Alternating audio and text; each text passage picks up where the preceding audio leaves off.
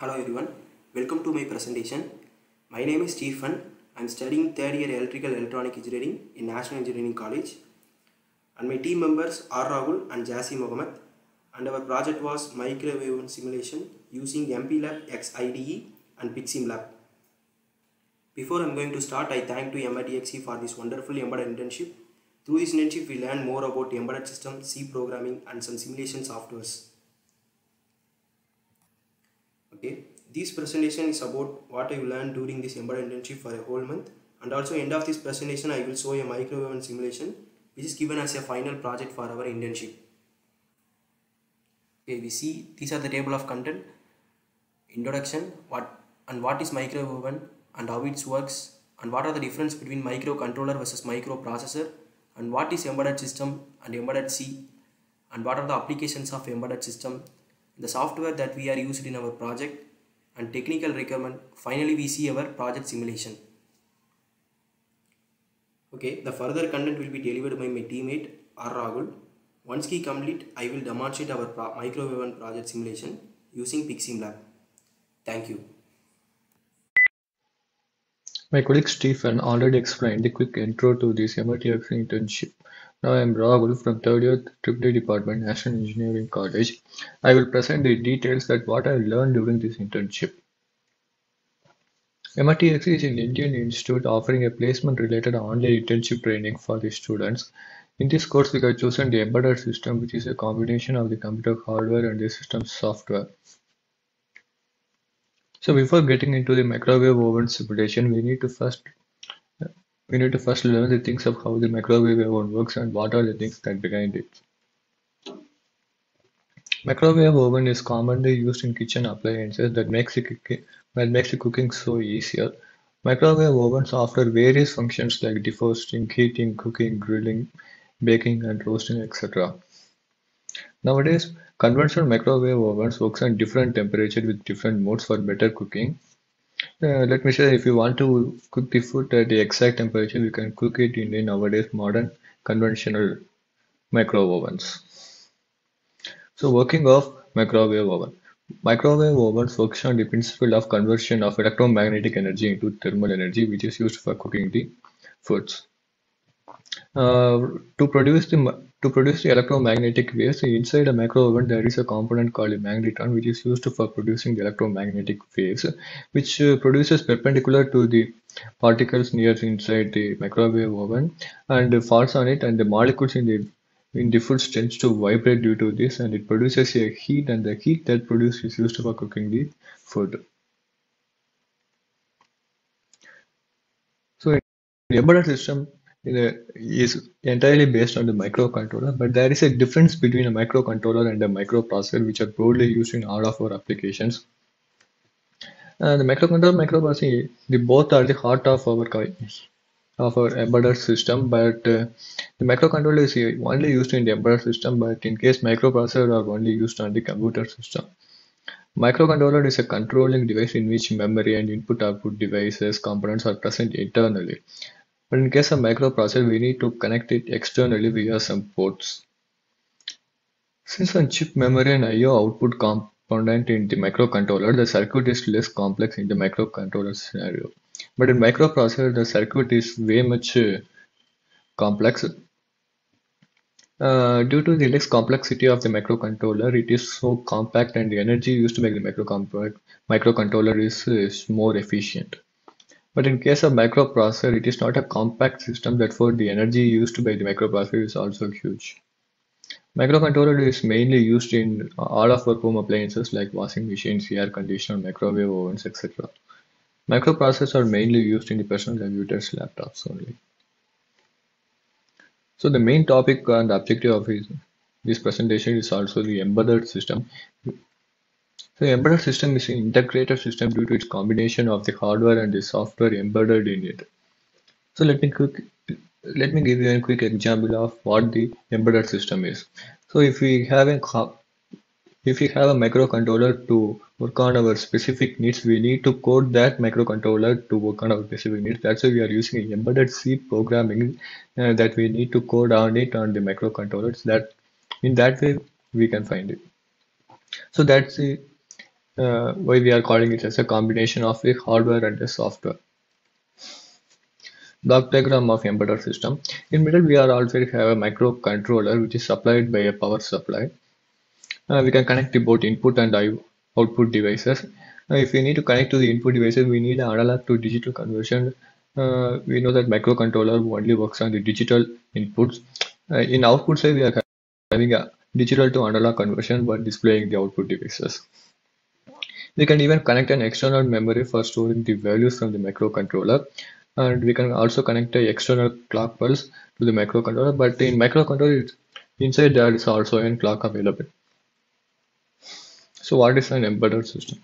An embedded system is a microprocessor microcontroller based computer hardware system with software that is designed to perform a dedicated function either as an independent system or as a part of the large system at the core is an integrated circuit designed to carry out computation for real-time operations Embedded system application ranges from digital watches and microwaves to hybrid vehicles, etc. Applications of embedded system. Embedded systems are widely used in most of our home-made appliances and all. Uh, the main are the handling of light, heat, elevators, automatic robots. So one of the main example of the embedded system is a traffic light controlling system which are used in highways, airspace, and shipping lines, etc and the telephone and radio communication, computer-based games, defense sector like as weapons and multimedia systems. Embedded C. We all know C programming is generally used for desktop computers for programming the software, but embedded C is mainly used for coding the microcontroller-based applications. Embedded C is more popular programming language in software field for developing the electronic gadgets is processor used in electronic systems associated with an embedded software. Embedded C is preferred over any other language due to the following reasons or it is easy to understand, high reliability, portability and scalability of these codes. If we need to understand the what is embedded C, we, we need to first lay on these things, data types. A data type is a classification of data which tells the compiler or interpreter how the programmer intends to use the data. If you want to use as a number as the data type, we need to assign it as an integer, float, long, double, etc. If you want to give us a character as the input, we need to assign it as a character or a string. Conditional statement. A conditional statement is a specific block of code to be executed if the certain condition is true. There are two types of conditional statements which are available in the C program, which are if statement and the switch case statement. Another is a looping statement. Looping is, is used for execution of a block of statement repeatedly under a particular condition is satisfied. There are two, there are three types of looping statement available in the C program, which are for, while, and do while. And then array. An array is defined as a collection of similar type of data items stored as continuous memory locations. Functions. A function is a block of code that performs a specific job and also most important feature of the functions is it can it can be used as a the most important function the most important feature of the function is we can reuse the codes uh, operators uh, in, there are four types of operators available in C program. One is arithmetic operator, which is basically addition, subtraction, multiplication, modulo, division, etc. And an assignment operator and a relation operator like uh, e equal, less than, greater than, not equal and logical operations like bitwise operations and or not XOR etc. Software. There are three types of software which are being specified in the embedded system orientation, which is the MPLAB XC compiler, MPLAB X IDE, and PICSimLab. In our project, we have used two of these software, MPLAB X IDE, which is MPLAB X integration development environment, which is used for coding the embedded C into it, and we can convert the coding into Xcode code and we embedded into the microcontroller via the PICSimLab. Technical requirements. We studied five of the technical requirements in the through the internship. Uh, let me see one by one. Before going into the tactile key, we need to get into rely on two things, which is the pull-up resistor and pull-down resistors. There are three main component things which are used in the digital logic circuit. They are high state, low state, and the high impedance state. In pull-up resistor, when the input is directly connected to the microcontroller, then it is stated as a pull-up resistor, or else it is connected connected to the ground, or the VCC is not connected by itself, then we can say it is a pull-down resistor. So what is tactile switch? A tactile switch allows electricity to flow in electrical circuit by manually pressing the operating section. A switch is used to supply input signal to actuate a device or equipment. The switch activates when pressed and then turns off when released. The push button switch is usually used to turn on and off the control circuit and it is kind of a control switch appliance that is widely used. The next one is a matrix keypad. A matrix keypad is a kind of keypad you see on microwave ovens, gas pumps, and calculators. A four-axis matrix has 16 built-in switches in parallel. So how matrix keypad works? A 4x4 matrix keypad has 16 built-in push-button contacts which are connected in rows and column lines. The microcontroller can scan these lines for a button pressed state. In a keypad library, set all the column lines and row lines to input, then it picks a row and set it high and a column and set it low. After that, check the column lines at once time. If the column connection stays low, the button on the row has not been pressed. If it goes high, the microcontroller knows which row and which column is pressed corresponding to the input key pressed. The next one is the interrupts. An interrupt is signal to the processor emitted by the hardware or software, indicating an event that needs immediate attention. When an interrupt occurs, the controller completes the execution of the current instruction and starts the execution of the interrupt handler. Uh, ISR, we can say it as an interrupt service routine tells the processor or controller what to do when the interrupt occurs. The interrupt can be either be hardware interrupt or software interrupt. But in hardware interrupt, there are two types: the maskable interrupt and non-maskable interrupt. The maskable means uh, that interrupt can be turned on or off. Non-maskable means we cannot turn off that interrupt. Another one is a timer. A timer is a specialized type of clock which is used to measure time intervals. It is a device that counts down from a specific time interval and used to generate a time delay. A counter is a device that stores the number of times a process occurred with respect to a clock signal. A microcontroller can also generate or measure the required time delays by running loops, but the timer or counter delivers the CPU from the redundant and repetitive tasks allow it to allocate maximum processing time for other tasks. CLCD or basically we can call it as a liquid crystal display is a flat electronic device generally used as a screen in televisions, smartphones, I mean new holder phones and the display sign for producing still and movable images. An LCD panel is made of many layers that consist of a polarizer, polarized glass, LCD fluid and conductive connections. When the external light passes through one of the polarized glass and electric current is applied on the liquid crystal molecules, they align gently in such a way the polarizer travels from the first layer to the second polarized glass, causing an image to appear on the screen. The next up is a project. Is uh, the project demonstration is given by my colleague Stephen. Hello everyone. Let's see our project demonstration. So micro one simulation using PICSimLab and MPLab X IDE. Now we open MPLab X IDE. This is the MPLab X IDE software interface. And this is our project. In this MPLab X IDE, we wrote all the coding part. In PICSimLab, we see the output. And micro one, we see the header file and source file. That header file clcd.h, main.h, matrix keyboard.h, timer.h. In source file clc.c, isr.c, main.c, and matrix keyboard.c and timer c. Let's build our project. Uh, click the build icon. Yes, the build, build is successful. Let's go to the PICSimLab. Uh, this is the PICSimLab software interface. In that, uh, click the file, file option, and load X. In that load X, this is our uh, project X file. Uh, click that and click open. So see the powering on micro oven. This is the four mode of cooking operation. We are implementing micro mode, grill mode, convection mode and start mode. We see one by one. First micro mode. This mode is used to cook the food in a traditional way and it uses a maximum power of 900 watt and this is the minimum maximum time that you set cooking for 60 minutes and second one is grill mode this mode is used to cook the meat and bread and it works same as the micro mode and user can set the time as per the cooking time then third one is convection mode in this mode the user can set the oven to preheat for a particular temperature and it takes 3 minutes to preheat the oven. After the preheating is done, then the user can set the time as per the requirement. Uh, so these are the four modes and the fourth mode start uh, mode we discuss later. Before that uh, we discuss the board. Uh, we use PICGenios board and microcontroller we use PIC16F877A and LCD we use 16 cross 4 if you use 16 cross 2 means the board size is reduced. You see the two lines.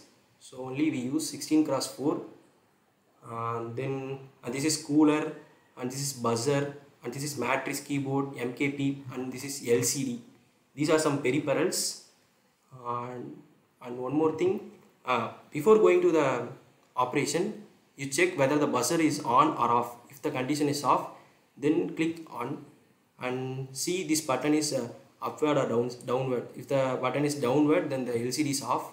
So click upward. okay. Okay let's we go into the demo. If you press the key number one it go into the micro op mode operation uh, let's press the key number one micro operation. The power is equal to 900 watt. Um, then it shows the set time. The user can set the time but the maximum time you can set for cooking is 60 minutes. Uh, let's I select 30 seconds and 20 minutes. Okay. This star key is used to clear the time. If you press the wrong time no problem. Just click the star key. I press the star key. Let's see. The time is clear. So we select the time again. I said 30 seconds 1 minute. So this hashtag key is used to enter. If you press the enter then the operation is immediately started. So I press the hashtag key. See the operation is started. The time is run. The timer is start.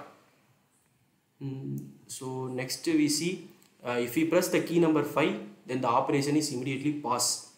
Let's see. So the operation is passed the, the uh, cooler is uh, not running it's stop. Then again we press the key number 4 the operation is resume so if you want to stop this operation then click the key number 6 then immediately the operation is stopped and go into the main screen so this is micro mode. And second one is grill mode. If you want uh, go into the grill mode operation then uh, click key number 2 it's same like as the micro mode. User can set the time. I select 50 seconds and 5 minutes. And I press the enter key. Then the timer is start running. So if you press the 5 it pass the operation see the fan is not running then click the 4 again the operation is resume if you click the 6 then the operation is stop you go to the main screen. Next the third one is convection mode. Uh, just click the key number 3 go to the convection mode. In that you can set the temperature in degree celsius. So i set the temperature is 123 degree celsius. Then click the hashtag key center. The preheating is started. It takes 3 minutes to preheat the oven. So let's wait. So 3 minutes is very long time. So I pause the recording. Once the time is coming to 20 minutes I will resume my recording. The preheating is almost going to done the 9 second 8 second 7 second 4 3 2 let's see the preheating is almost preheating is done. Uh, then it asks the user if you want extra time for heating then the user can set the time as per the requirement. If you want extra time you can set I select 30 seconds 5 minutes. So I press the hashtag key then the operation is uh, start. So if you press 5 means it's pause 4 means it's resume if you want to stop the operation then click the key number 6 then fourth mode is start mode. If you press the start mode so already default it set the 30 seconds.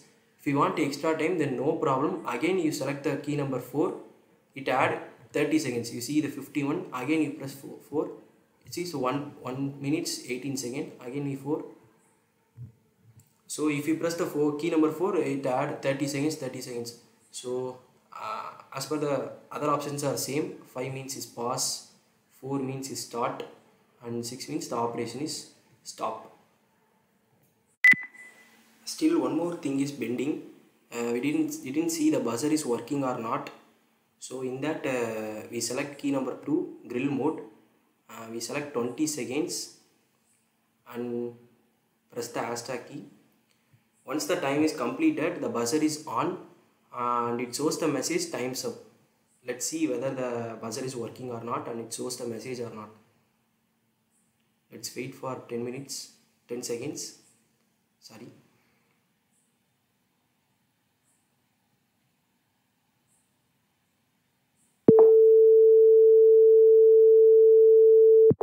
So you hear the buzzer sound and it shows the message times up. So it's working. Then last one is pending you see the rb3 rb3 key? This rb3 key is used for door option. Initially the door is closed. Once the operation is started you press the rb3 key. Then it shows the messages. Door door status is open. Please close. Uh, unless otherwise if you close the if click the rb3 then only it uh, into the operation. Uh, otherwise it's uh, uh, doesn't go uh, the buzzer is also on so let's see. Uh, click the to grill. Let's select one 30 minutes 30 seconds and 2 minutes. Let's press the hashtag key. Okay uh, now I press the RB3 button Wait. see the store status is open so please close the RB3 key. You see the message the door is open please close. So now I press the RB3 key the message is gone and the operation is resumed. So that's all. This is our this is our micro event simulation using MPLAB XIDE and PICSimLab. It's very user friendly uh, that's all. Thanks for listening. Uh, thanks for your time. Thank you so much